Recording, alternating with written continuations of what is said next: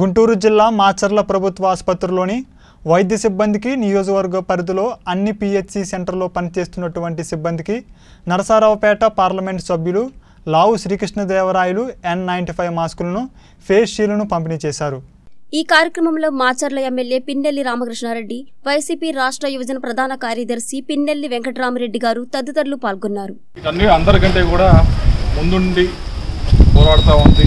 అన్నిటికీ కూడా తెగించి పోరాడుతూ ఉంది. ముఖ్యంగా డాక్టర్లు పోరాడుతూ ఉన్నారు.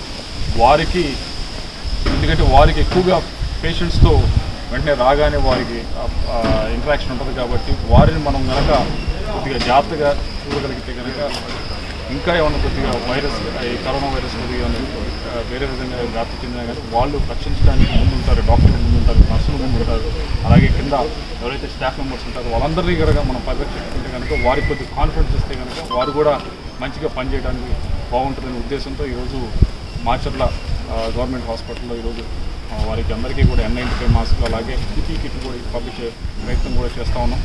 వారందరికీ కూడా ఇక్కడ ఒక మా మాచర్ల గవర్నమెంట్ హాస్పిటల్కే కాకుండా మిగతా మాచర్ల నియోజకవర్గంలో ఉన్న పిహెచ్సీలు అన్నిటికీ కూడా ఉన్న డాక్టర్లకి నర్సులకి ఉన్న స్టాఫ్ మెంబర్స్ అందరికీ కూడా ఈ ఎన్ మాస్కులు ఫైవ్ అలాగే ఫేస్ షీల్డ్ కూడా చెక్ ఈరోజు ఇవ్వడం జరిగింది.